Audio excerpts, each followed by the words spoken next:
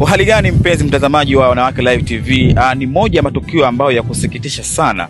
Aa, tukio hili limetokea huku mtaa wa Msumi aa, Mbezi ambapo mtendaji wa mtendaji wa mtaa uh, bwana Kevin Moore uh, hivi karibuni amepata uh, tukio la kuuliwa pindi anapotekeleza uh, majukumu yake ya, ya kiofisi. Inavyosemekana watu watatu walifika katika ofisi hii na kuingia katika shauri na kuweza uh, kumpiga mapanga hadi kumsababishia umauti. Ungana nami Abdallah Magomba kukuletea taarifa hii. Naitwa Neema Samali Masha, mjumbe wa serikali za mitaa hapa katika mtaa wa Msimi. Siku ya tukio ilikuwepo asubuhi, lakini muda wa tukio lenyewe nilikuwa nimetoka kidogo, tulikuwa tumeenda site. Tulifika site, mjumbe mmoja wa kamati ya siasa alipiga simu kwa mwenyekiti, akamuuliza ofisini kuna nini, mbona nasikia kuna watu? Mwenyekiti akamwambia sifahamu kwa sababu nimetoka kidogo, liko saiti lakini tumeshamaliza tunarudi. Kwa hiyo tukaondoka pale, tukawa tunarudi. Nilipofika hapa pembezoni, tusio mbali, maeneo ma- madrasa hapo, na nikapokea simu kutoka kwa mjumbe mwingine wa serikali za mitaa, akawa ananiuliza Neema, upo ofisini? Nikamwambia hapana, nimetoka kidogo, natoka site, lakini narudi karibia nafika ofisini. Nilipofika nikuta watu wako nje wamesimama vikundi vikundi.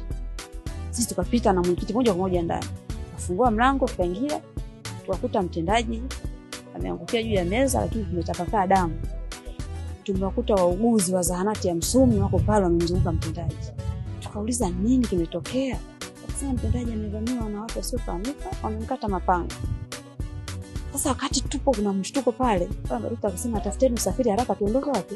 Hospitali wakati mwenyekiti anafanya juhudi za kupata gari ndipo alipomuita akamwambia, wala msisumbuke, tuona mtu mwenyewe ameshafanya nini, ameshafariki. Kwa majina anaitwa Ismail Agustino Mbinda, mwenyekiti wa serikali ya mtaa Msumi. Tulimwacha mtendaji hapa na ulinzi shirikishi. Basi baadaye muda kidogo nakuja kupigiwa simu, bwana, ofisini kwako watu wamejaa. Narudi ndio nakuta hali ya kwamba wamepiga mtendaji wangu panga kichwani, na bahati nzuri kwa sababu hapa nyuma ya jengo langu kuna zaanati basi kulikuwa kuna wale wahudumu ambao niliwakuta wakiwa wanamsaidia. Basi baada ya hapo kuanza kutoa taarifa kwenye vyombo vya ulinzi na usalama. au waliokuja ni wanunuzi, na maana maeneo haya walikabidhiwa madalali. Madalali walipokuwa wamekabidhiwa maeneo haya, pesa zile hazikufika kwa mwenye mali.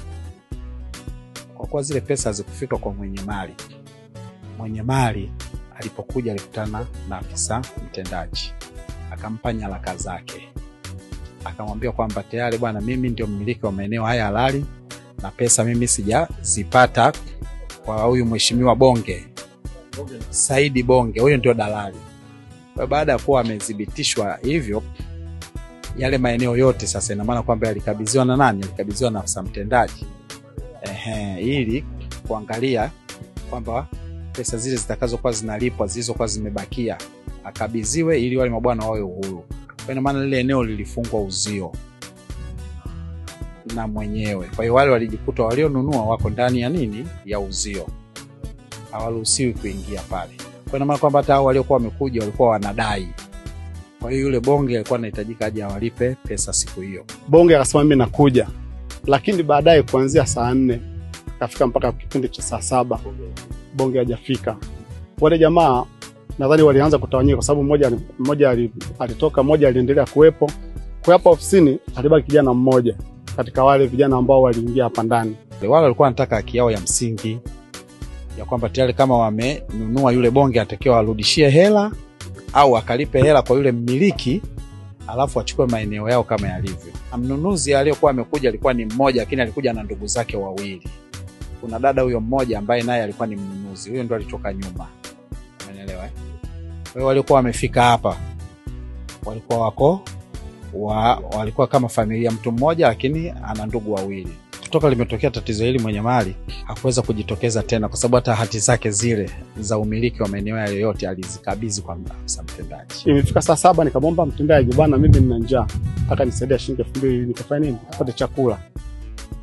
nikamwacha mtendaji peke yake na msichana mmoja ambaye yeye alikuwa anahitaji apatiwe kibali cha ujenzi. Huyo ndio alikuwa anapiga ukunga kelele nje kwamba jamani, mwenyekiti mtendaji huku amepigwa panga. Sasa kulingana na jiografia ya hapa kwetu jinsi unavyopaona ni sehemu tu za hardware ambayo mtu anafanya kazi hapo hardware na zahanati hiyo iko nyuma. Kwa hiyo maana mpaka umpate mtu ambaye amesimama au lingekuwa linapita gari au basi ndio amepata msaada mkubwa. Kwa hiyo mpaka anakuja kuzungumza, jamani, mwenye mtendaji wamemuua huku ndani ndio watu wanakuja kuhamasika kuja hapa, wale wahalifu tayari wameshakimbia. Yule dada kutoka mpaka sasa hivi alivyokuwa ametoka, naye hali yake yenyewe sio nzuri kulingana na ile tukio alivyoliona.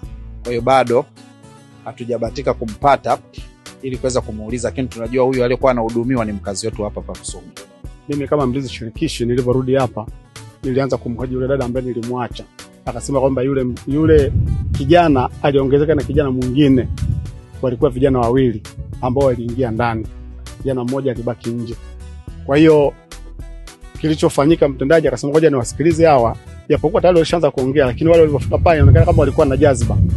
Akasema hebu ngoja ondoka nje, wewe msichana ondoka nje ili tuweze kuongea na mtendaji. Mtendaji kweli akamtoa yule msichana, hebu nisubiri hapo nje niongee nao hawa niwasikilize. Kumbe walikuwa na mambo yao ya mauaji. Ulizungumziwa kwamba mtendaji labda alivuta. Ah, mtendaji hakuhusika kabisa katika kuvuta, kwa sababu wakati wanaongea na simu wameweka loud speaker, mimi niko pale na makablasha yangu, wale vijana wanasikiliza mazungumzo yote yanayohusu masuala ya fedha. Mtendaji alikuwa anasimama kwenye haki kuhakikisha kwamba wale vijana wanapewa pesa zao, ndio hakuvuta wala hakuna vinasaba hivyo. Kwa kweli mimi kwa akili yangu timamu havikuhusiana kabisa na mtendaji kuvuta kitu chochote. Mimi nahisi kwamba hawa vijana, kwa sababu hii kesi ilikwenda ilikwenda polisi, polisi wakairudisha na, yu, na yule bonge alitakiwa aje akufika kwa kipindi mwafaka, wale kwa jazba. Sasa sijajua moyoni kwao walikuwa misi nini, lakini ule ucheleweshaji wa haki ndio uliowapandisha uliowapandisha jazba mpaka wakafikia hatua ya kufanya mauaji. Wito wako kwa jamii na serikali? Ah, Kwa kweli Msumi inaendelea.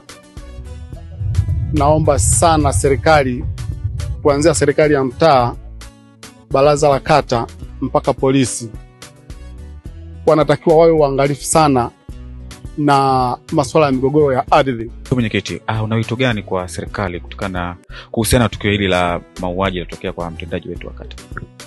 Mahusiano niliyokuwa nayo makubwa sana, tulikuwa tunaomba serikali tuangalie kwa upande wa jicho jingine, kwa sababu kweli hatuna eneo lililokuwekwa kubwa, lakini hapa pembezoni kwenye ofisi yangu kuna eneo ambalo tunaweza tukatengeneza kituo cha polisi.